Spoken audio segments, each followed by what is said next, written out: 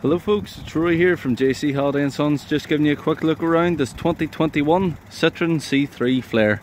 This one's finished in a lovely black paintwork with a contrast white roof and white mirror caps there as well and these lovely diamond cut alloy wheels there at the side.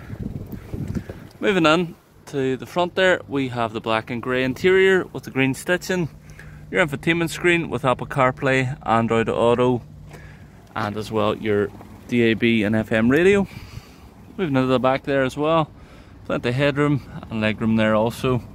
With two Isofix anchor points there in the back. Very spacious bit there in the back. And the back seats fold as well. Electric windows all round. Phone controls on the steering wheel. And cruise control as well. You also then have a small digital driver's display there between your two gauges.